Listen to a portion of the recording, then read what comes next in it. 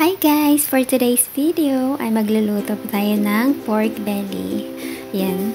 Pina, pinahiwa ko na po doon sa market. Tapos sinunog na din po nila yung mga uh, hair, mga extra hair. Ayan, lagyan natin ng ganyan. Ayun.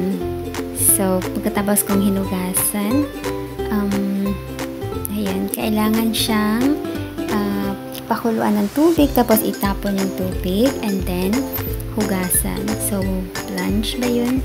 Ayan. Pagkatapos na hugasan, um, binalik ko siya sa kawali. Tapos, nilagyan ko na, um, um, pagka wala ng tubig, ayan, konting tubig, um, nilag, uh, nilagyan ko na ng, ng uh, oil para ma-fry siya. Pina-fry ko na ng konti para magiging brown. Then, nilagyan ko siya ng bay leaves tapos, um, star anise. At saka yung spicy na, ano, spicy na seeds. Ayan.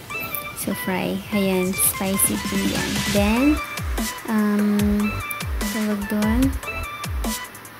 Ayan. Spicy dalawang klase. Or kahit, ano, basta may pam, may spicy, spicy lang siya. At saka, paminta. Salt yung nilagay ko, guys na ano, nasa spoon. Then, light soy sauce.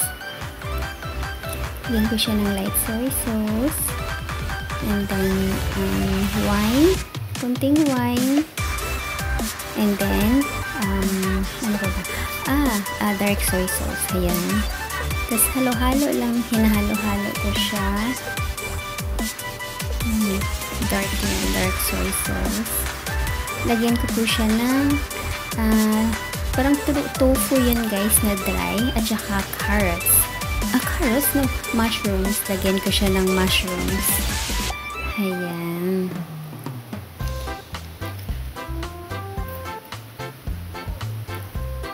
Yan, hinahalo-halo ko siya. Ano pa ba nilagay ko dito? Mushrooms.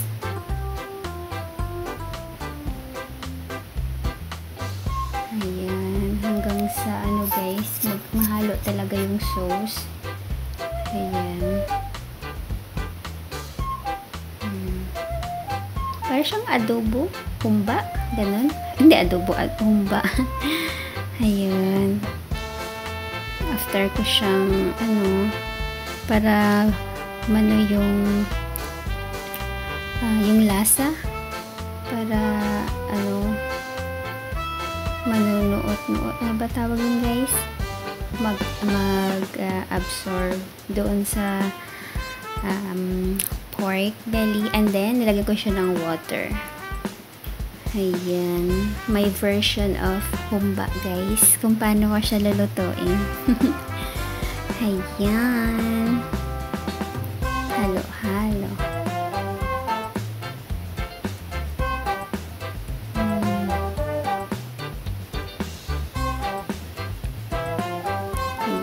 So, next is, after haluin, nilagay ko na yung mushrooms. Hinugasan ko yun siya, tapos uh, ibinabad para lumambot konti. And then, sinama ko na rin yung tubig ng, ano, ng mushrooms. Ayan. After kumulo, pinakulo ko na yung, ano, yung dinagdag ko na water. Then, yun yung, ano guys, yung pepper black pepper na huli. Hmm. Tapos, nag-ready na ako ng foil, thin foil sa baking pan. Kasi gusto ko siyang ilagay sa oven guys para madali. Kasi nagmamadali na ako. At gusto ko yung malambot na malambot siya guys. So, inilagay ko siya sa ano, sa baking pan. Ayan, inilipat ko siya. Pinakulo ko lang konti yung water Then, nilipat ko siya sa baking pan. Then, binibake ko siya guys ng 230 degrees hanggang sa lumambot. Tinakpan ko para hindi matuyo yung water. Ayan. Tapos, binake ko siya. Nasasayo na ako ilang minutes guys. Basta check lang palagi ano, kung okay na yung lambot niya. Ayan. Oh, yan. So, tinanggal ko na sa oven. Ibinalik ko sa kawali, ba diba, ang gulo, guys. Pero, at least, lumambot na siyang konti, guys. Ayan. O, diba? Mabilis lang. Kasi, masarap yung malambot na, ano talaga, guys. Talaga, na sarap kainin yung malambot siya at saka yung lasa niya is naluluot sa, ano, sa laman ng, ng pork. Ayan. Tapos, yan, nilagay ko na yung, ah, nilagyan ko pala ng tofu puff, guys. Kung ano na lang nilagay. Basta masarap. Ayan. Tofu puff. Dry tofu and mushrooms. Bala ko siyang lagyan ng ano guys, ng boiled egg. Kaso hindi ko lang ano, hindi ko lang nagawa.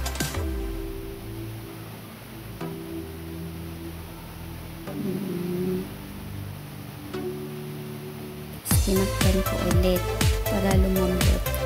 And then, dinagdagan ko na ulit yan guys ng dark soy sauce para ano siya, uh, yung kulay at saka yung lasa. So, dinagdagan ko rin ulit ng light soy sauce, dark soy sauce, kaya ganyan. Uh, diba? Malambot-lambot na konti.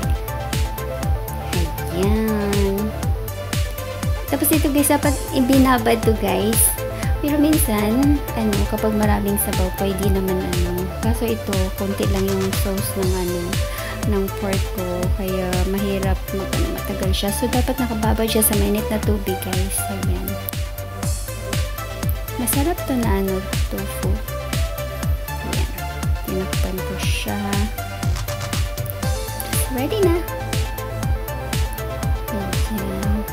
Pero hindi pa ganun kalambot yung tofu dry tofu. Wala lang ano sauce. Wala nang tubig. So, pwede na i-serve. Oh, diba malambot? Pero hindi pa ako kontento dyan, guys. Gusto ko yung mas malambot pa dyan. So, ayun, pwede na rin ganyan i-serve. Masarap na rin yan, guys. Yung delicious. At mabang. Hmm. Diba? Mm. Sarap.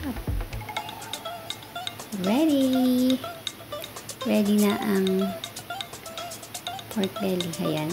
Malambot siya. Much better kung mas malambot pa. Ayan. Pwede na. Mm. Ayan. Ready to serve shiny shiny.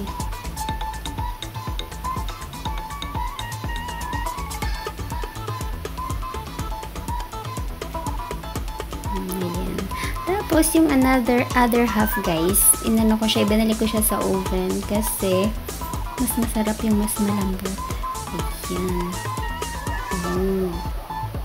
Diba? Ready na. Ibinalik ko na yan sa oven, guys para lumambot ng todo. Mm, di ba? Sarap. Mm, ready.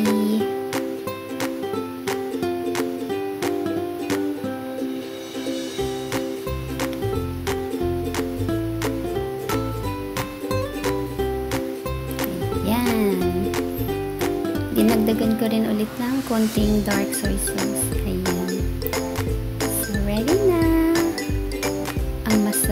Malambot na pork belly.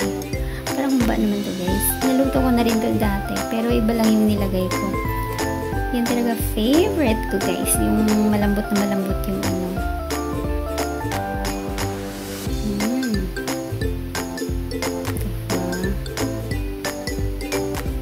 So, done na ang ating pork belly na parang, ay, humba ba to guys? Version ko.